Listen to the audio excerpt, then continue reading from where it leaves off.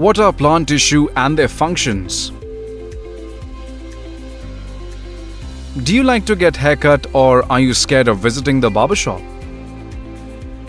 If grass could think, how would it feel when it's time to mow? What about plants when it's time for pruning? Although it may seem counterintuitive, the best way to get many plants to grow is by cutting them back at certain times of the year. We call these occasional haircut pruning. Pruning is a horticulture practice involving the selective removal of certain parts of a plant, such as branches, buds, or roots. But the question is, how do plants grow back?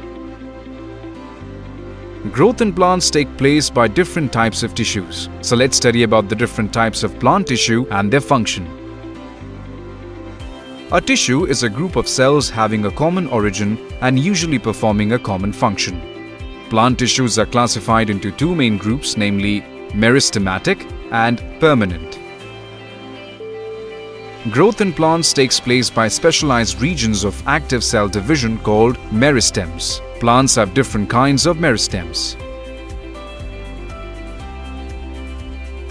The meristems which occur at the tips of the roots and shoots are called apical meristems. And these tissues help in elongation of stem and root.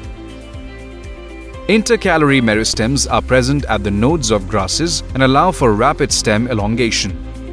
Lateral meristems are found in all woody plants and in some herbaceous plants and they produce secondary tissues, vascular cambium in stems and roots.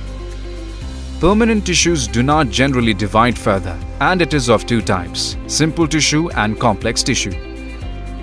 Simple tissue is made of only one type of cells and they are of three types, parenchyma, collenchyma and sclerenchyma. Parenchyma cells are generally isodiametric, thin-walled and of different shapes.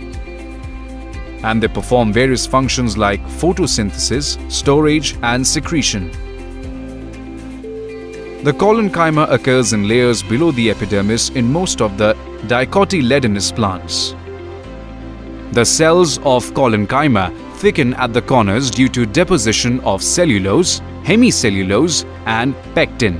They provide mechanical support to the growing parts of the plant, such as young stem and petiole of a leaf. Sometimes collenchyma contain chloroplast and they assimilate food. Sclerenchyma contains long, narrow cells thick and lignified cell walls and they provide mechanical support to different parts of plants. The complex tissues are made of more than one type of cells. Xylem and phloem constitute the complex tissues in plants. In angiosperm, xylem is composed of four different types of elements, namely tracheids, vessels, xylem, xylem fibers, and xylem parenchyma. Gymnosperms lack vessels in their xylem. Xylem functions as a conducting tissue for water and minerals from roots to the stem and leaves. It also provides mechanical strength to the different parts of plants. In angiosperms, phloem is composed of sieve tube elements, companion cells, phloem parenchyma, and phloem fibers. On the other hand, gymnosperms lack sieve tubes and companion cells in their phloem. Phloem transports food materials from leaves to other parts of the plants. Let's solve some important questions from medical entrance exams. Question 1. Collenchyma constitute the hypodermis in number 1.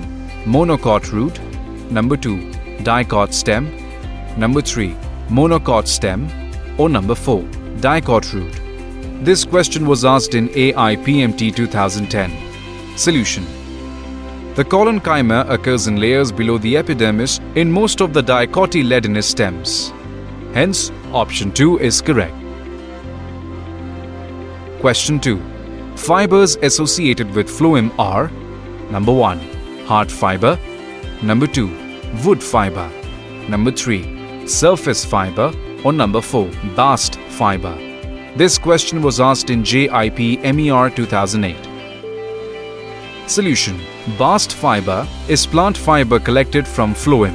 They support the conductive cells of the phloem and provide strength to the stem. Hence, option 4 is correct. Question 3. In angiosperms, xylem is made up of Number 1. Tracheids and vessels. Number 2. Vessels and fibers. Number 3. Tracheids and fibers. Number 4. All of the above. This question was asked in CPMT 2010. Solution Xylem is composed of four different kinds of elements, namely tracheids, vessels, xylem fibers, and xylem parenchyma. Hence, option 4 is correct. This video concludes about different types of plant tissues and their functions. To know more about anatomy of plants, please visit our next video.